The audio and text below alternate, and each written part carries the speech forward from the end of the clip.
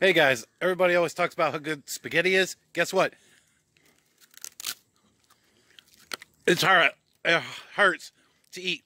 My mouth, there's blood in there, and it's there's no sauce. So it's time to throw this spaghetti in a tree.